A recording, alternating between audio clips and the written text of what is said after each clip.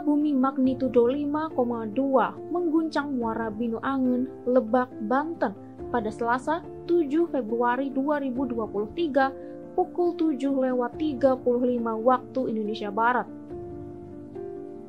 Laporan dari Badan Meteorologi, Klimatologi, dan Geofisika, pusat gempa berada di laut 66 km tenggara Muara Binu Angen, Banten dengan kedalaman 10 km.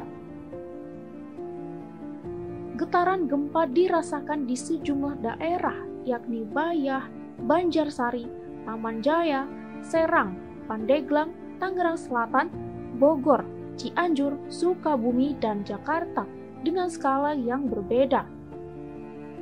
Menurut Kepala Bidang Mitigasi Gempa Bumi dan Tsunami BMKG Daryono, pada Selasa 7 Februari, gempa bumi yang terjadi berjenis gempa dangkal karena adanya aktivitas subduksi lempeng Indo-Australia. Melalui Twitter resminya, BMKG memastikan gempa ini tidak berpotensi tsunami, namun masyarakat diimbau untuk tetap waspada dengan potensi terjadinya gempa susulan.